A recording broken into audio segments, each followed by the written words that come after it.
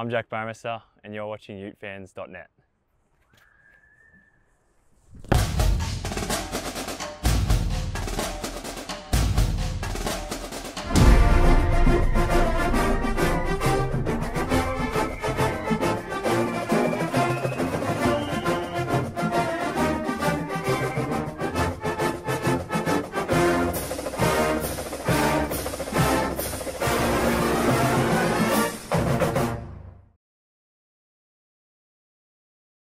Hey, Ute fans, welcome to another great episode of The Extra Point, brought to you by the Ken Garff University Club and presented by UteFans.net, the original home for Ute fans. I'm joined by the Rocket, Cal Beck, Gabe Reid, and Devin Kaufusi. We just came off the field. We watched uh, Kyle Whittingham's press conference. What are your takeaways, Cal?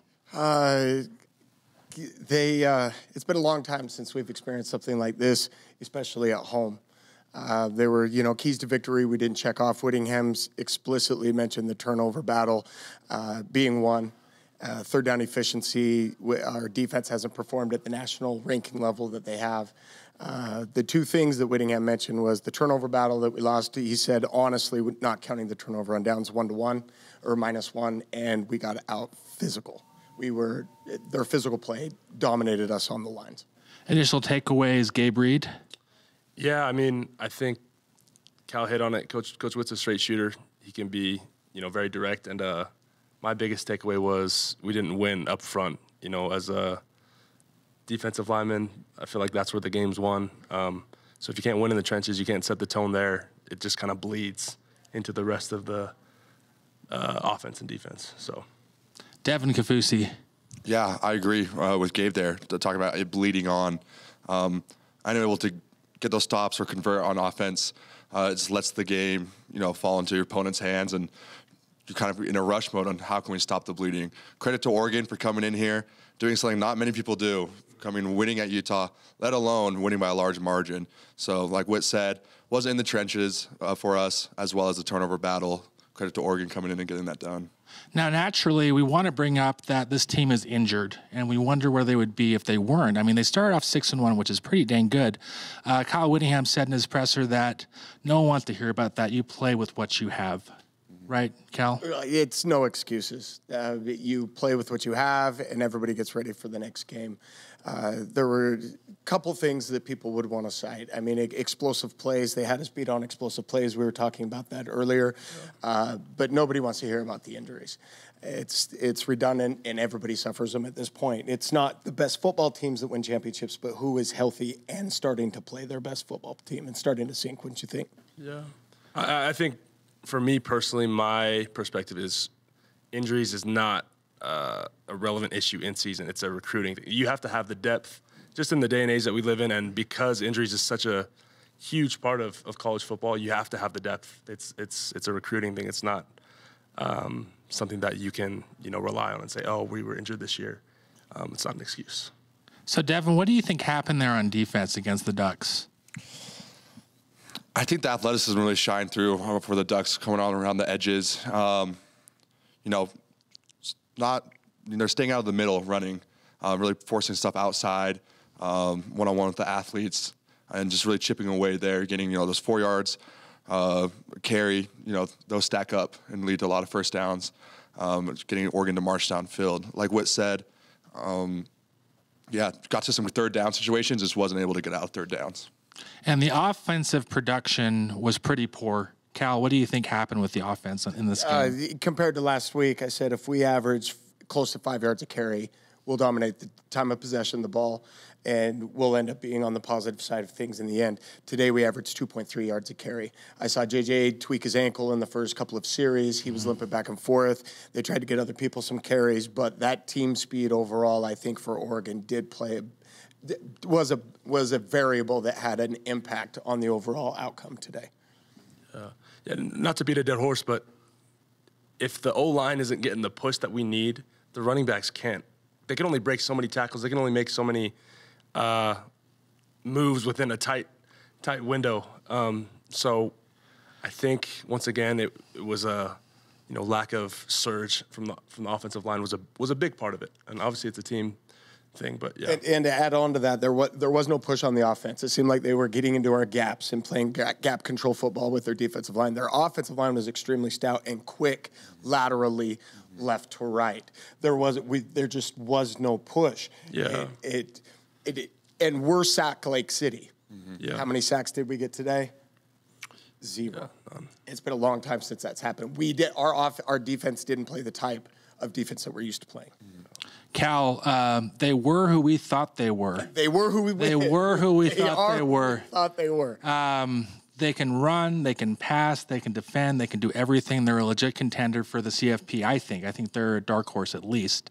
But what do you think? I mean, as a player, when you take a loss like this, because it does happen and we get spoiled as fans, but when you take a loss like this, what's it like rebounding from it? Gabe Reid.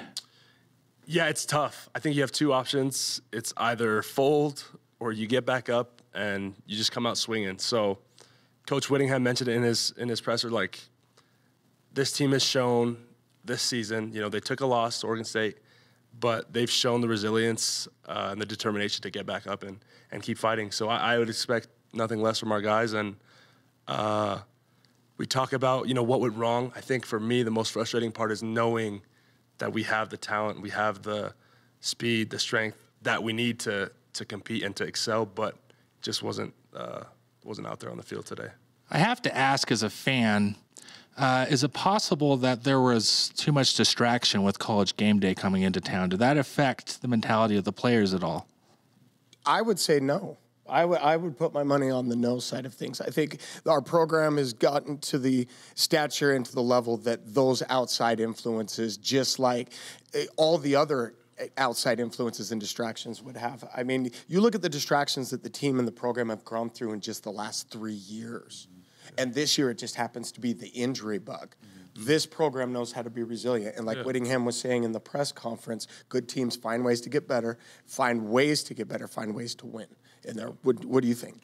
Absolutely. I think like a phoenix rising from the ashes, someone's going to step up in big games like this and throughout the season, mentioning the injuries and touching on what Coach Witt said. Uh, even Bailey even mentioned young guys being in positions, guys that are backups playing more. Everyone's just got to you know take that hard look in the mirror, you know, let this one sting, but move right and right on ahead. You know, don't let this team, this loss, drag into next week and affect them. You know, feel it now, watch the film, get better. You know, it's the Utah way, showing that resi- that resiliency. This is when the next game mentality really comes to the to, to the benefit mm-hmm. of the team. I mean, it's it's easy to get on an emotional high like last week and think, oh, you know, one game at a time. But when you feel this, you've got to you got to face the piper. You got to go through Bloody Tuesday, but it's the next game. You're not thinking about the conspiracy conspiracy theory wall, trying to connect dots like we were talking earlier. How they can still qualify for the CFP, how they can qualify for the conference championship. These players aren't drawing or connecting those dots yet. Mm-hmm. They're still thinking about we've got Arizona State coming next week. And where do we look in terms of the Pac 12 title race? Is it over for us?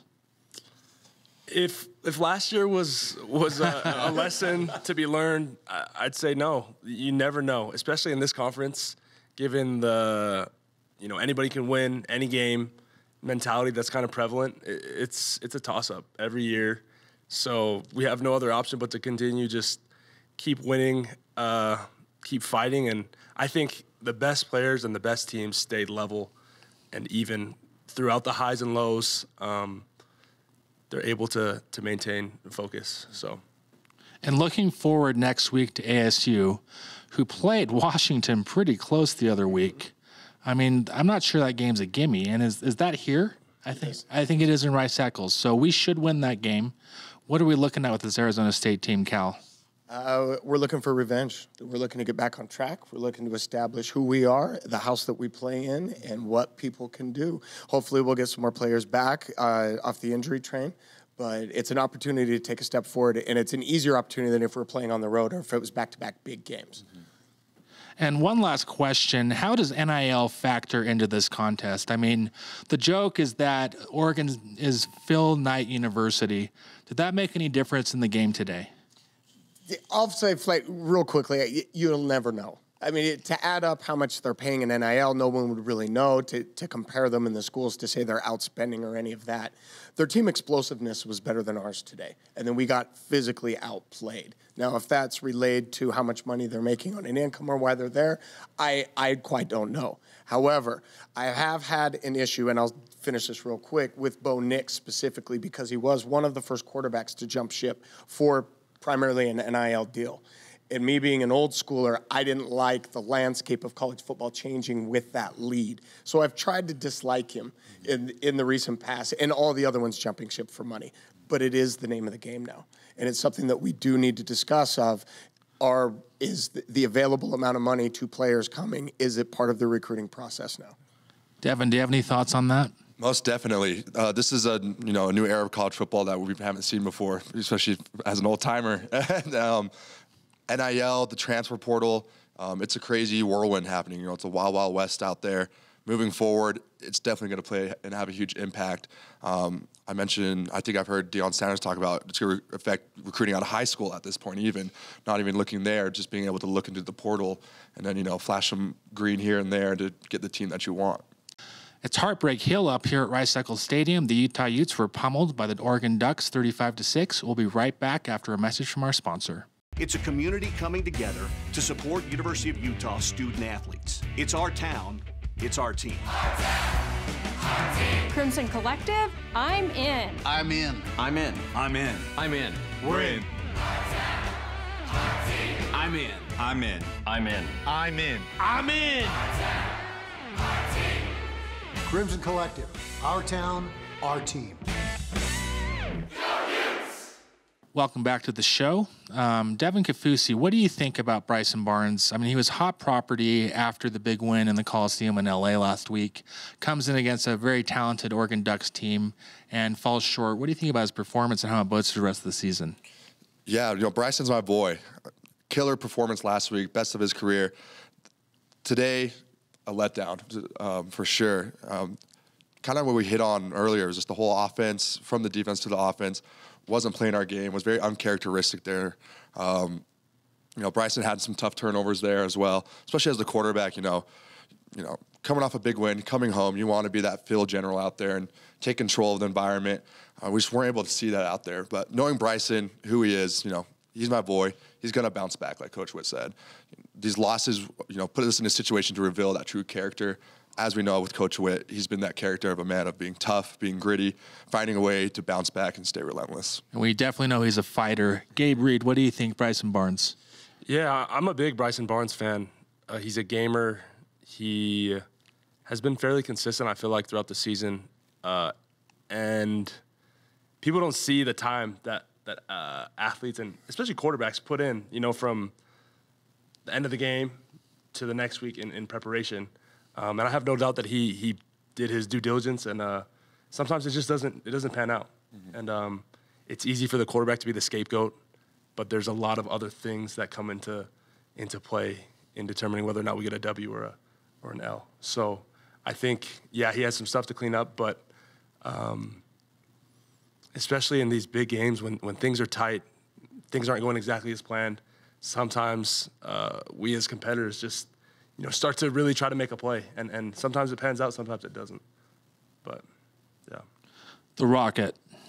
Uh, one thing that I learned when you go through losses and you try to shoulder it, the easiest person to blame is the person in the mirror. And you've got to come to terms that there is certain circumstances that you can't overcome. He did do his due, due diligence in preparation, but Bryson Barnes is a pig farmer. That's part of the draw you know he's a hard worker. You know he's dedicated to it, to this to his craft. But I'm sure that he is aware, just like everybody else can figure out, there is poop that is involved with pig farming, mm-hmm. and there are some games that end up you just play poopy today, and he will manage it just fine. I plan on him rebounding back. He's not going to take it personally. He's going to shovel it out of his way, and he's going to continue marching, leading this team down the field. Now, Devin, we know that this wasn't Bryson Barnes' best day on the field but the blame doesn't fall all on him. Talk a little bit about what happened with the team and, and who else is accountable here. Yes, absolutely. You know, there's 11 guys out there doing 11 different positions. Um, you know, Bryson, a role as a quarterback is, is a big one out there. But, you know, like Coach Witt said, in the trenches, O line got to win their blocks, you know, manhandle their one-on-one blocks, get off blocks to get to the next level to allow those lanes to open up for their running backs to, you know, gain yards, you know, make a cut, make a guy miss here and there, which usually leads to our more explosive plays. We're able to see that um, there in the running game and, and, as well as with our offensive line. Uh, Gabe Reid, what do you think? Yeah, I think there are more opportunities for plays to be made outside of the quarterback position, and that just needed to happen more today. Uh, there were several times throughout the game where felt like big catches were made, or there were some momentum swings with uh, defense causing a turnover and getting the ball on our own uh, 35, 40, uh, where we just needed people to step up and uh, capitalize on opportunities that were presented. But um, yeah, across the board from the O line to receivers uh, to running backs, we just weren't able to to get string some some big plays together. We couldn't execute. We couldn't execute execute against that defense. Yeah. They, they, had answers for everywhere we yeah. wanted to be. Um, they were who we thought they were, and yeah. they were everywhere we were trying to go. It doesn't fall strictly on Bryson, right. but when you can't get more than two, three yards of carry, your field general starts to try to do things that are out of the game plan. And those turnovers were trying to make plays. They weren't bad throws, they were just trying to make plays. It was mistiming. It happens. Um, there was a lot of things today that didn't go according to plan, but it shouldn't fall on anybody's shoulders by that. Everybody's got to watch the film. Yeah, and I'd say you have to credit Oregon. I mean, this is a top five uh, football team in the nation. There's no, you know, question about that. So, a bad play on offense almost always correlates to a good play. Not all the time, but a good or great play on the defensive side. So they have guys that are making plays on that side of the ball. Um, so you have to give give credit to them as well. So I think within the last week, former Utah head coach Urban Meyer came out and said Kyle Whittingham is the best coach in college football. And even after a loss like this, do we still think that might be true? Absolutely. I think it just shows the type of character that has been instilled within this program. When they highlighted Coach uh, Whittingham on ESPN earlier today, they made a big reference to his dad, Mad Dog, Fred Whittingham and I'm seeing a lot of Fred and Kyle. And Kyle has taken what his father taught him as a coach and elevated to a level that is on national recognition. I mean, he is a brand by himself, not because of who he is on TV or what he says, but what he produces here in the locker room. You guys experienced it, I mean, even more closely than I did his first year here. What do you think? Yeah, I mean, I think his post game press conference is a, a great representation of you know who he is. Mm-hmm. Uh, he's a tough, hard, old school coach, um, but he loves his players and uh, he is going to get the most out of them. And and win or lose, you know, he's uh, going to push the guys. I think, uh, you know, we touched on NIL a little bit. Uh, coach Whittingham attracts, at least for me personally, the kinds of players that are uh, in it for more than just the money. So they're here to work hard, to be a part of a great culture, and that's what Coach Whittingham, uh, that's his staple. So, um, yeah, I have nothing but good things to say about Coach Witt. Devin, you're a Whittingham player. Yeah, I'm a big fan of Coach Witt. You know, he, him and my dad started their coaching career together here at Utah on the defensive line. Uh, I've been around the Whittinghams for a long time. My mom grew up with them. You know, as we talk about physicality being Utah's calling card, you know, toughness is definitely Coach Witt's. Um, you know, so it's his brand. It's his. It's in his DNA. That toughness of that Whittingham, it shines through and it leaks off into the rest of the program. You know, it starts from the top and goes down. Thank goodness we have a Kyle Whittingham there at the top to handle us through times like this and to bring us great time to come. We got an opportunity to interview Bryson Barnes on our show earlier this week. We want you to take a look. I'm Jack Bouwmeester, and you're watching Goal Line Gossip, proudly presented by UteFans.net. Today we've got the pig farmer, Bryson Barnes. Bryson, how are we? Doing great. Happy to be here. Mate, they say uh, you never quit. What, why is that? How did, how did you develop those uh, attributes as a young man? Yeah, you know, I feel like, you know, kind of grow, growing up in a small town, you know, when you love something and you care for something, you're willing to sacrifice and do anything for that. So I feel like when it comes to football, I love the game of football. I love the teammates that I'm around. And so when you love something like that, you know, you're going to put in the sacrifice regardless of what the circumstances are. Who was the first person that made you feel like you could play ball after high school? I feel like it was my dad. You know, we'd go to football camps growing up and I'd be, you know, competing against dudes that were going to schools a lot bigger than I was. And my dad just kind of I feel like brought it to a reality to me on on how I looked going against those guys, and I felt like you know it definitely kind of triculated into me and building confidence in myself. Football was your best one, obviously, as we saw on the weekend. But what's your second best sport?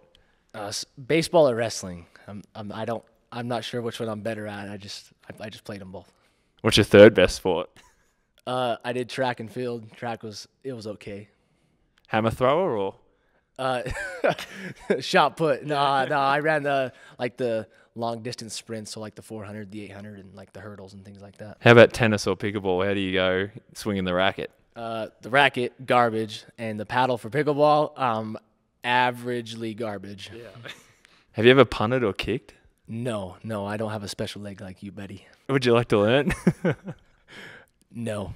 It is always good to have something to fall back on. You might be able to teach me how to throw as well, although I'm not too bad at slinging it. All right, yeah, yeah. I've seen you sling it a few times before, but yeah, I, I can teach you a little bit, but I don't want to kick. And uh, how's the misses with uh, football and stuff? Is it good? Obviously, good to go home, um, rebound and stuff. How's how's she with the game? And she's a massive supporter, as as I can see, your beautiful wife. So how's she?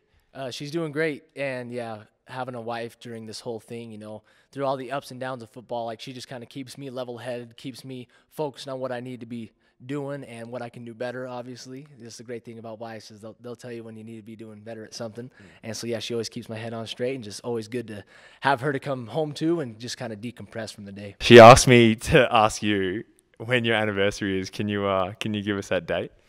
February thirteenth, twenty twenty one. And that that was that was the third take of that shot. that was the third take. Guilty. All the fans are wondering, what are you going to be for Halloween? Uh, I'm going to be a football player wearing a Utah number 16 jersey at practice. You got a 265 pound middle linebacker. He's got a 10 yard start and he's coming downhill at you. What are you, what are you thinking in that scenario? Uh, get out of the way because I took a probably about a 220 pound linebacker, and if you're not ready for the hit, it doesn't feel that great. So, first, try to get out of the way. Two, embrace the hit, and three, hopefully you see it coming. uh, if that was to happen to me, what what advice would you give me? Well, if you don't get the air knocked out of you, get your breath back. Tell him that probably wasn't very nice, but just sh- show show him that you weren't actually hurt. it hurts his ego. As a teammate, I know, and the team knows what you're capable of, but you put that on show on the weekend. So how does it feel to finally, I guess, uh, well, you're undefeated as a starter, but finally like establish yourself and show everyone what we all know you've been capable of. Yeah, you know, it, it feels great to be able to go in there, be able to click on all cylinders on offense, be able to put up good numbers, and uh, uh, just at the end of the day, coming out with a win.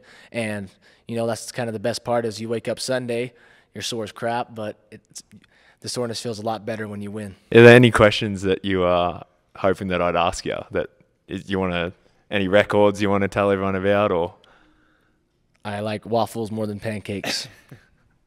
I'm Jack Bouwmeester. I'm Bryson Barnes. And you're, you're watching UteFans.net.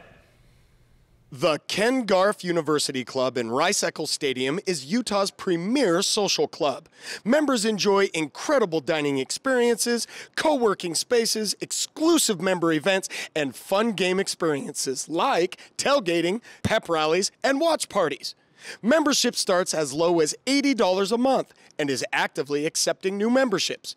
To learn more about joining this beautiful club, go to kengarfuniversityclub.com to learn more. Thanks for joining us for another great episode of The Extra Point, and thanks to Gabe, Cal, and Devin for joining us on the show today. Check us out after the ASU game next week, and go Utes.